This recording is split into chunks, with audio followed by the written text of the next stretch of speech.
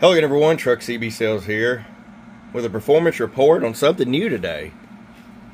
I'm trying to get over COVID, still tested positive, my voice is coming back some. Thought we'd throw this on the bench before we go back and rest for a little more. Uh, Mountaintop Electronics has sent this down here to us to review. Uh, I have to say I'm very pleased uh, with the work. Um, I've known Greg up there for a little while. I'm real good friends with a couple of his real good friends and he does a really good job with these. Uh, he's uh, not he's not in the uh, social media spotlight, which is a okay and probably probably a good thing.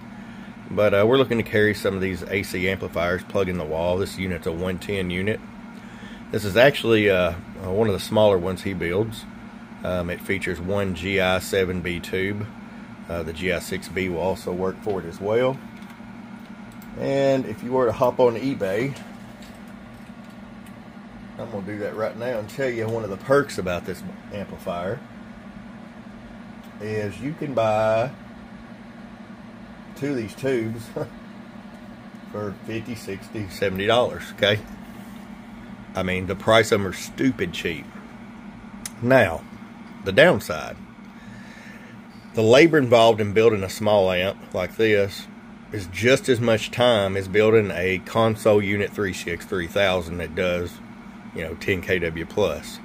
So you end up over a dollar a watt range when you deal with the smaller ones. That's just the way it is.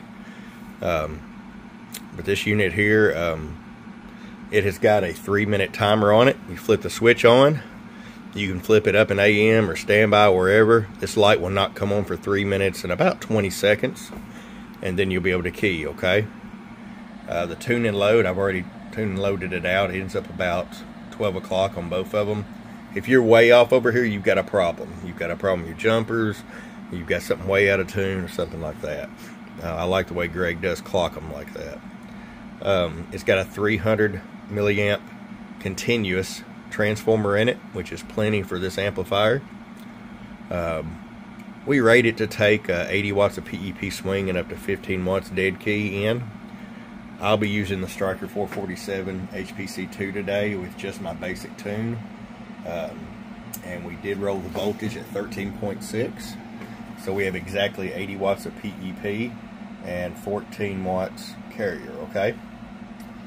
Um, so we're going to show you what this thing is doing. Fan is really quiet in it for an AC box. We got the 500 watt slug here, an average of 1000 peak. Go ahead and show you the 500 watt slug.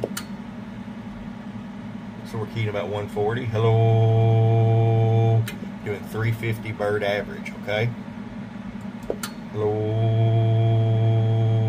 little over, about 365, 370. 1000 watt slug and peak, low, 750 PEP. All right. I mean, if you see over 750 or 800, you're probably driving it too hard. No thrills, frills, no meters on these. These are just a simple unit to operate. It's got a the input tune on it is fixed and uh, show you again. There's my input tune 1.1 can't beat that. Um, so it's so easy even a caveman could do it.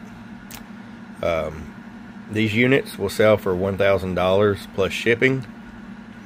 And as I said before yes that is over a dollar watt. That's just what you're going to face when you deal with a small amp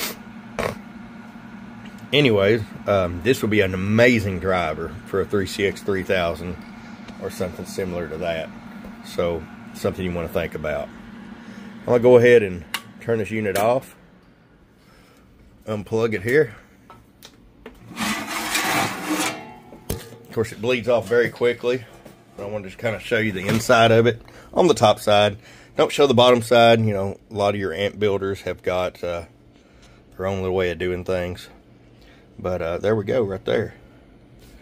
Um, the tube is shipped separately with the sleeve. And you simply just push it down in there and then push the sleeve down until it's flush. Uh, you just Then you clip this right on the top. And just make sure nothing's touching and you're good to go. It's about as simple as you can get, guys. So I'll have these on the website soon. Um, and let me pull up one more thing here. If you want to go to the website, his website is mountaintopelectronics.com. Neat little website. He's got a few things listed on there for sale you can take a look at.